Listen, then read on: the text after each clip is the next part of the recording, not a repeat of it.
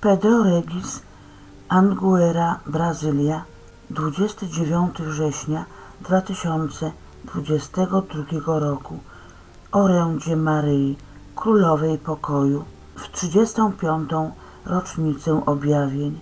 Kochane dzieci, odwagi, nie wycofujcie się. Ja jestem waszą matką i zawsze będę z wami. Przyszłam z nieba, by wezwać was do szczerego nawrócenia. Nie trwajcie w grzechu. Oto czas łaski dla waszego życia.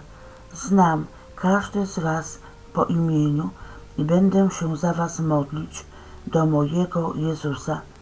Ludzkość zmierza ku przepaści duchowego mroku. Powróćcie do światła Bożego, a będziecie wielcy w wierze. Nie chcę was przymuszać, bo macie wolność. Wiedzcie, iż mój Pan was kocha i że wiele od was oczekuje. Ufajcie w pełni Bożej mocy, a przyjdzie do was zwycięstwo. Dajcie mi swe dłonie, gdyż chcę was zaprowadzić do tego, który jest waszym wszystkim. Ja chcę widzieć was szczęśliwymi już tutaj na ziemi, a później razem ze mną w niebie. Nie lękajcie się, ratunek od Pana przyjdzie dla sprawiedliwych. Oderwijcie się od świata i żyjcie zwróceni w stronę raju, jedynie do którego zostaliście stworzeni.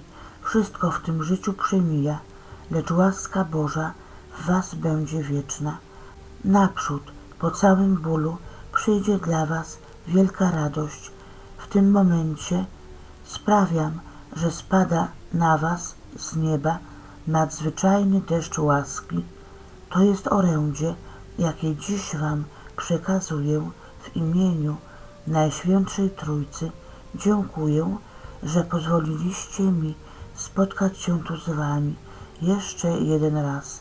Ja was błogosławię w imię Ojca i Syna i Ducha Świętego.